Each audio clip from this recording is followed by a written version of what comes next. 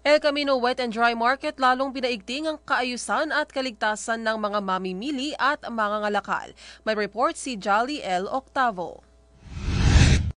Ang pamilihang bayan ng El Camino Wet and Dry Market dito sa Santo Niño, Mekawayan, Bulacan ay patuloy na pinag-iingat ang mga nangangalakal at mga mamimili upang maiwasang mahawa ang lahat sa epidemyang COVID-19. Tinagubilinan ang lahat na bawal pumasok sa pamilihan ang lahat ng mga senior citizen, mga minor de edad at maging mga buntis. Ayon kay Ginoong Edgar Gilantigaan na siyang nangunguna sa kaayusan at kaligtasan ng lahat, hindi din pinapayagang pumasok sa pamilihan ang hindi naka-face shield at mask.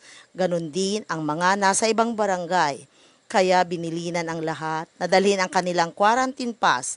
Kaya sa pagpasok pa lamang ng mga, mga mamimili, nagkaroon na ng inspeksyon at nakahanda din ang mga barangay tanod at mga guard upang kumuha ng body temperature at may nakahanda ring washing area, gayon din ang mga alkohol para sa disinfection.